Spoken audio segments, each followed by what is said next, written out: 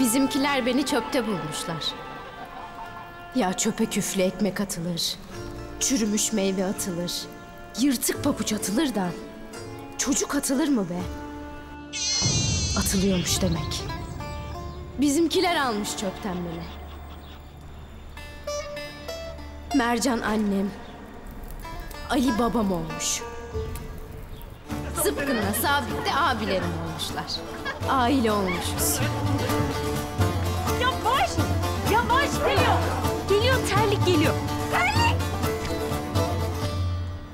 Sokakta onlardan çalınan her şeyi bana vermiş bu aile. Sevgiyi, şefkati. En çok da güveni. Sakın, sakın Gülayşe hayır. Neşeleriyle sarıp demişler ki bana...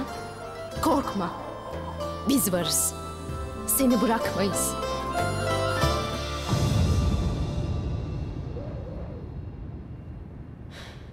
Şimdi desenize bana.